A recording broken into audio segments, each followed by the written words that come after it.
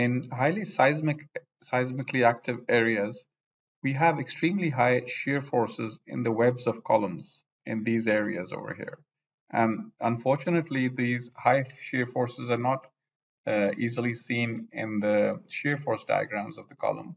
What you need to do is you need to convert the moment end moment of the beam into high axial forces in the flanges and then apply those axial forces at these two points and then you will see what kind of high shear forces um, are actually acting on the column at the on the web of the column in this area. Now there are several solutions. You can actually use stiffeners. You can select the column.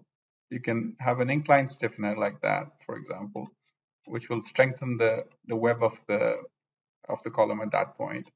Uh, that's one solution which is possible. It also gets in the way of the bolts sometimes. Another solution which I want to talk about right now is the doubler plate, which is available over here.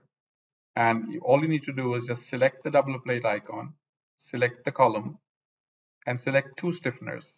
And when you select the two stiffeners, a doubler plate will be created between those two stiffeners to basically thicken the web of the column.